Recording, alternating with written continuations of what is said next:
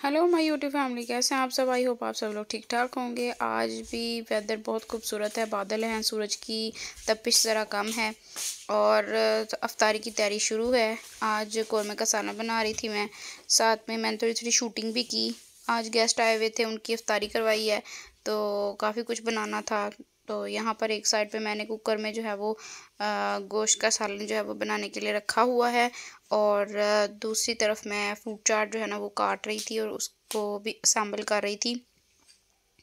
मसाला डाल लिया था मैंने इसके अंदर और अब इसको फ्रिज में रखना बाकी था। कटिंग कर लिया मैंने।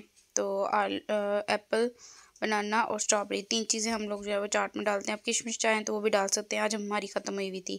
यहाँ पर मैं बना रही हूँ बिरयानी का मसाला। वो भी मैंने ऑलमोस्ट जो है वो ख़त्म कर लिया है, बना लिया है और ये मार्गरीटा का पेस्ट बन गया है। अब इसके अंदर जो है ना वो स्प्राइट डालना बाकी है। तो ये रहे बच्चे जो कि कॉटन कैंडी खा रहे हैं और बच्चों को बिल्कुल नहीं पता चलता कि ऐसी चीज़ें नहीं खानी चाहिए, बस उनको चाहिए चाहिए।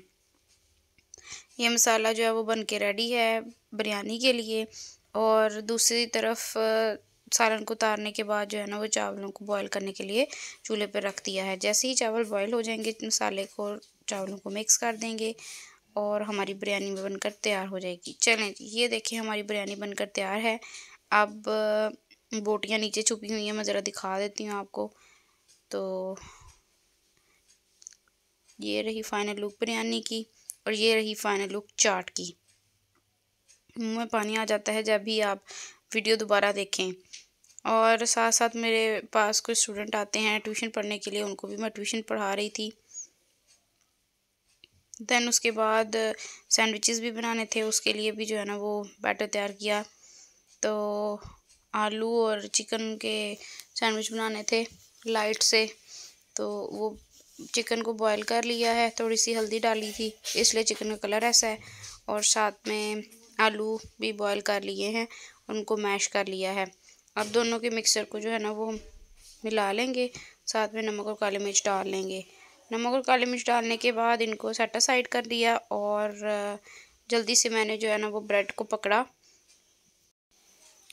ये सारा मसाला जो है इसको ब्रेड के अंदर हम फिल करेंगे। आप चम्मच से हाथ से हाथ अच्छे से धोकर उसको जो है ना वो हाथों से मिक्स कर सकते हैं। एक साइड पे केचप लगाएँ और एक साइड के ऊपर जो है। वो चलें जी, अब असेंबल करते हैं अपने सैंडविचेस को। ये मैंने सैंडविचेस जो हैं वो सारे बना कर रख लिए हैं। और अब बारी है इनको टोस्टर में रखने की। टोस्टर को मैंने पहले ही गर्म होने के लिए लगा दिया था ताकि वो अच्छे से गर्म हो जाए।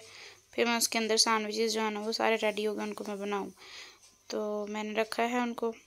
और अब ये आपके साथ फाइनल लुक शेयर कर रही हूँ। ये देखिए सैंडविचेस की फाइनल लुक इससे ज़्यादा गोल्डन ब्राउन भी आप कर सकते हैं। साथ में बनाया है मीठा पानी कंजबीन और फ्रूट में माल्टों को धोकर रख लिया है। टेबल की वीडियो बनाना मैं भूल गई। ओके माय यूट्यूब फैमिली मिलते हैं नेक्स्ट टाइम तब तक अल्लाह हाफिज़।